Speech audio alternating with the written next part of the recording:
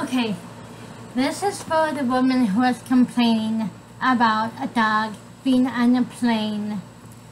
Um, on um, Cavuto, Neil Cavuto's show. Um, lady, if you know there's going to be animals on planes or trains or cars or any place, don't go to these places. Some people do need pets and animals go with them. Like if they go on vacation, they can bring their pet as long as where they're staying is friendly so they can fly, drive, and take a train and bus with that pet. Stop complaining on Neil Cavuto's show. Also, the complainers of the world. um, stop.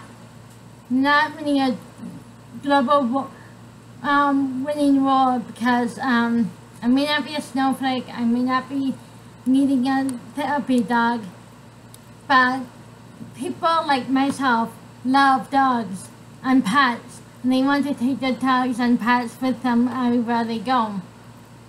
So if you're deathly allergic, petrified with them, don't be on these play thing, things which you know could possibly happen with these pets. You're only causing more people going towards um, Trump and walking away from your issues.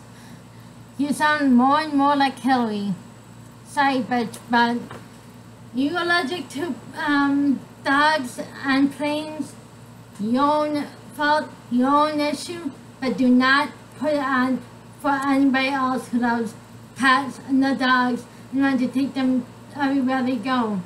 It's not our fault.